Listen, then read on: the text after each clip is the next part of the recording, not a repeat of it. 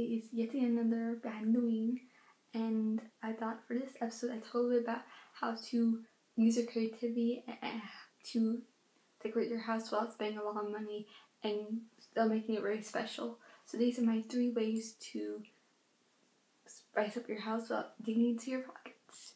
So the first way is to go to like the 99 cent stores and all the thrift stores and the garage sales and the farmers market and wherever you can go. Because you know what? You don't really need to spend of money to house. You can get really cute little uh little bowls and um put some like some orange wrap paper in the bottom to like spice it up.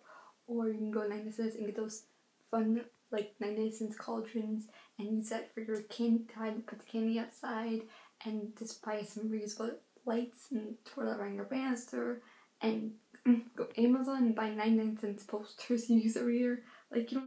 So yeah, my tip number one is go to the places where you wouldn't expect to find Halloween stuff because you'll find some great bargains and you'll be able to use your creativity to every stripes of your house.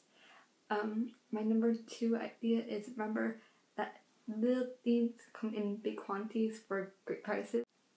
So yeah, don't look at the big, fun, expensive uh, decorations because you know what, you can get smaller decorations for decor, a lot more space, but more decorated for probably less price. So yeah, make sure, number two, to don't look all the flashy, fun decorations that they'll have all over the place in the front. Go to the back where the hidden so yeah, that is my tip number two. And my tip number three, my last tip, is make sure buy all your stuff for the end. Make sure you go at the very last bit to all your Halloween stuff. Um, mean, they won't always have the best selection, they'll have the cheapest selection. Um, but make sure not to wait too close to the end because then all this good stuff will definitely be gone. Um, and keep in mind when you buy your stuff for that year, make sure it's that you're gonna buy you're buying good quality stuff that could last for three, four years, so you don't have to keep buying every single year new stuff. Um, try not to go for big flash stuff because that stuff will break. Um, and um, make sure also if you're going to buy stuff that you know you're not going to use next year, buy things you want for next year as well during that time period because that's when they have the good deals. And you don't want to keep going back every single year at the end of the year when all the good stuff will be gone anyway.